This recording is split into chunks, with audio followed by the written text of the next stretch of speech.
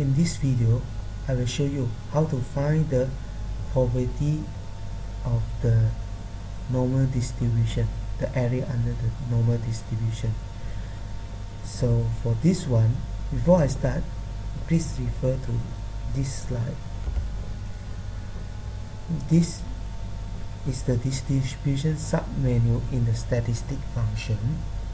So we have the P of T is the area of less than and Q of T is the area of uh, the normal curve between 0 and T. It doesn't matter the value of T is positive or negative. And R is the area of the probability for T greater than the PZ greater than T. Okay, so we go back to the question. For quest first question, we will use R.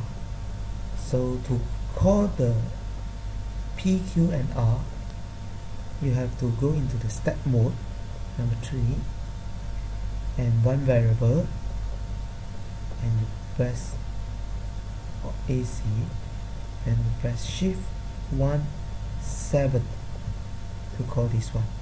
So for the first question is R, number 3, 2.25 and the answer is 0 0.0122 so the probability for z greater than 2.25 is 0 0.01222 and for question B you have R of negative 1.54 and this one will give you 0.93822 and C you have to use shift 1 7 distribution. This one is less than area we use P. Negative 2.38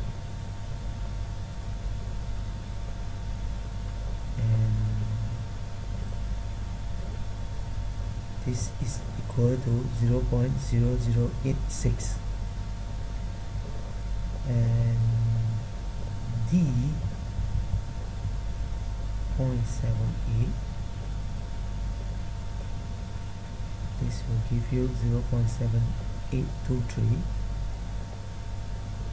and E we have to use Q shift 1 7 number 2 2.25 and this will give you 0 0.48778 and F you also use Q negative 1.32 and this will give you 0 0.40658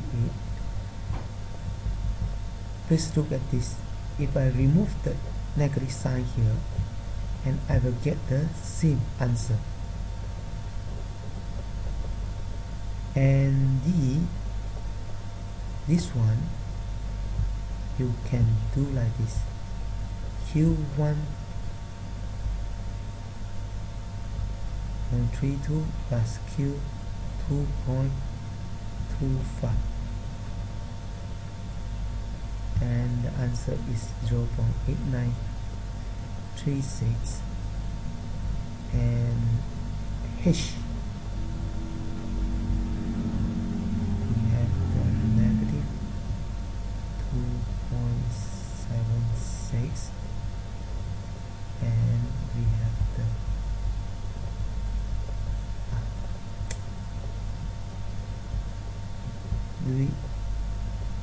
from the beginning memory. 2.76 plus